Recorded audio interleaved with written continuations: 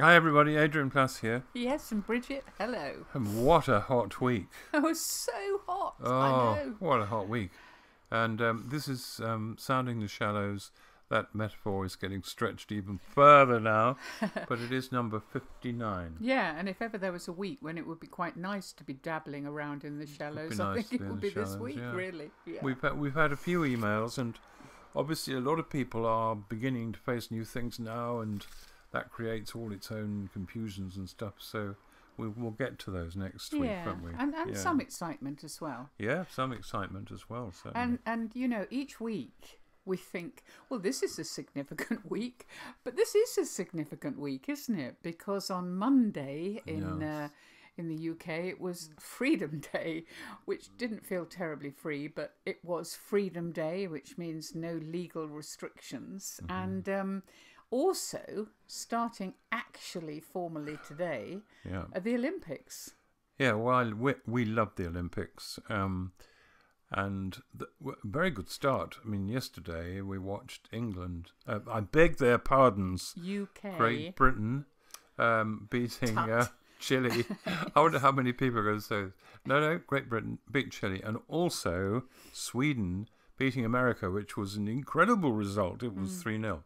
So, yeah, it's, uh, it's all starting at the moment. And uh, new challenges all over the place. And our favourite, well, I don't know if it's our favourite, but it seems to be a, a verse that's followed us, hasn't it, through our last 35, 40 years, is the one from the Gospel of John where Jesus says, The truth will set us free. hmm Um, and I remember years ago, someone who probably ought to know told me that that word freedom could be translated um, truth. uh, as readily as um, uh, Truth. reality. Yeah, Yeah. yeah, yeah, Truth. Yeah, sorry, as reality, and um, I think that that might be the the key. Really, I was trying to think about it. the liberation. Is all right, Mhm. but it, it's actually um, experience suggests it's the gateway to. Mm. I hesitate to say this. Whatever needs to happen, Hmm. and again, experience suggests that not all of that is necessarily going to be what we would choose. And Jesus was the, the one of the best examples of that. The if you read the, the account of Gethsemane, the Mm. emotional Mm. chaos of Gethsemane and Mm. making choices and gritting your teeth and hoping for things you don't really think are going to happen, Mm. and and eventually, finally, crucially, uh, majoring on relationship. Mm. In the end, that's what took him through. So yeah, we're free, but who knows? Yeah, I mean, I actually find that I've always found it helpful because it's so easy to think of truth as one of these sort of lovely words that float around. Truth will set you free, and reality will set you free.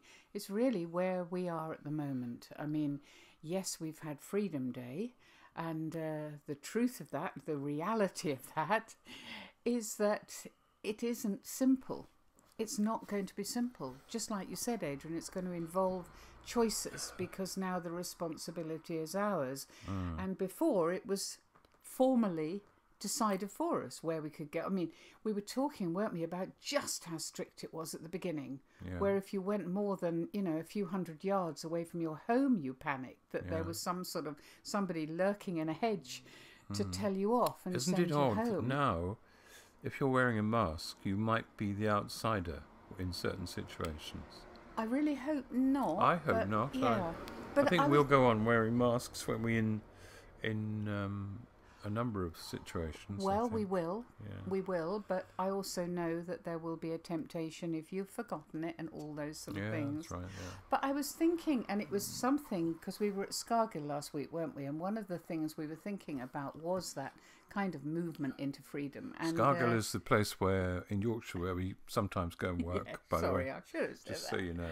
But um, we were remembering uh, years and years ago when we were in Australia, and uh, we did that talk. If you remember, we we were taken to a place that, as far as we were concerned, was going to be for people working with people with various forms of learning difficulties. That's right. and in yeah. fact discovered that we were speaking to the people with learning difficulties as well as their That's carers right, yeah, and yeah, people who work with them.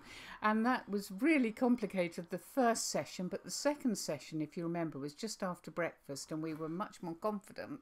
So we were Mm. really bewildered when at the very back of the room, and there were quite a lot of people there, we heard this man shouting at the top of his voice, It's too long! It's too right. long! We don't just It's start too long. We don't usually get crystal clear critiques like that, do we? Two minutes after we start. but he, if you remember, he was pointing into his mouth, Yeah. and then he was ushered out, and we carried on, not really knowing what had happened. Then afterwards, uh, the person who'd brought him to this centre was explaining to us what had happened, and what in fact had happened was this man is in his forties, and he'd lived at home, hadn't he, with his mum and dad all his life, and he'd been taught some really good, strict rules in order to help him Necessary rules. yeah. necessary rules. And one of them was that if you don't brush your teeth immediately after breakfast well what he'd been told is your teeth will fall out That's right.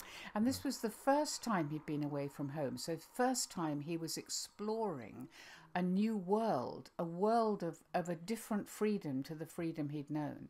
And he mm. was terrified because immediately after breakfast there was us standing up spouting on when he should have been cleaning his teeth and we were talking with his carer about the fact that it's quite a common experience for people who are just beginning to explore what it is to be. The rules were good, but now they were going to be not always followed immediately, followed in a different way. Yeah. Things would be different, and the responsibility for cleaning his teeth would Would become be his. his. Yeah. Yeah. That was a big difference, wasn't it? It was a huge Yeah, difference, yeah, really. And uh, and you know, I heard somebody on the radio. I think it was just yesterday saying that maybe we need to think of our own responsibility as being fueled by kindness. You said about Mm. the masks. Is it kinder to wear one because you're protecting other Yeah. people, etc., etc.? Yeah, we mentioned didn't we, a while ago the lady in South Africa who had become a Christian, and we asked what difference it made, and she said, "I clean behind the furniture as well Yes, now," right. which is uh, really is the point, isn't it? And I remember also a story I've often told coming from London on the train and reading in the paper about a, um, a footballer who was renowned for his fair play. I don't think he'd ever been booked, and he'd retired and suddenly announced he'd actually he'd been much more skillful at covering up his misdemeanors during play, and I was so shocked. Anyway, I, I, I had this in the back of my mind. We arrived back at Polegate, and I got off the train, and um, I was near the back of the train, and I really wanted a taxi, and there were always a small number of taxis, and people kind of uh, there weren't huge crowds, but they went off to the taxis, and there was just one left. I could see it, and between me and the taxi was an elderly lady, obviously struggling to make her way to the taxi. And I'll tell you what happened, what went through my mind. I thought, I can get in that taxi. And I think I thought, she probably doesn't want a taxi. She's just she's just going past the taxi where the taxi is and then I'll get the taxi. And I ran past her or, or hurried past her. I didn't need to run and got to the taxi. And all I can say is it is as though a l- very large red card was held up and somebody said that is a foul and um, i i uh, almost had my hand on the taxi uh, handle by then and uh, I, I i did give up my taxi because i couldn't i couldn't face the ref uh, having committed the dis- in a way, that's a pretty relevant story because there's going to be continual temptations now to do what we want because we want it. and Yeah, our true. justification is going to be that that's what we want. You know. yeah absolutely Um, yeah. and, and that will be uh, our motivation, and we're going to have to do a bit more checking, I think, really and truly. Well, of course, as I said, the other big thing is the start of the Olympics. And I was thinking about the fact that, rather like the Freedom Day, in a way, as soon as you think about the Olympics, well, certainly for us, and I mean, we're not sporty, well, you used to be, I never was, but, but a lovely glow comes. It's the Olympics, and it's kind of a symbol of the best of absolutely creme de la creme of everything of track, of field, of swimming, and all the rest of it. And it kind of unites the world because that everybody can be involved and the feeling it's sort of free and fair. But of course, we know that the truth is much more complex than that. The There reality yeah, is much more complex. I mean, we know that. Um, well, I'm just trying to think of a few things. I mean, we know, for example, some of the gymnasts have talked about actually being abused during their childhood in order Mm. to get the very best performances. The pressure, the national pressure, Yeah. the um, temptation to cheat. Yeah, I mean, that's yeah, another one, isn't it? The whole drugs thing. There was a film about the the um, the British um, Olympics, wasn't there the other the other night? Oh yes, and And, the, uh, the, yes, the huge, huge pressure on people. huge to- pressure, to, perform. huge amount of money, but you've still got that personal responsibility to train, to put Yeah. everything first, to resist temptation, Yeah. and to learn how to overcome disappointment and all the rest of it. You know, pushing your boundaries Mm. and and and. But I think importantly. A lot of the very best would say it's discovering the way to run their race, to Yeah, run your to own their race, best yeah, ability, their yeah, own race, or to dive their own dive, or, or whatever it happens to be. That finding the thing that spurs them into being the best that they Mm. Yeah. can be. Yeah, and all those people waiting to see what you what you do, how you do.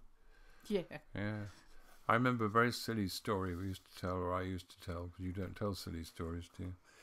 Only because I'm not very good at them. The, well, do nor am I. Nor I am do I. But it, it was about an inflatable boy, Yes. and um, he went to um, a school, and his parents were also inflatable.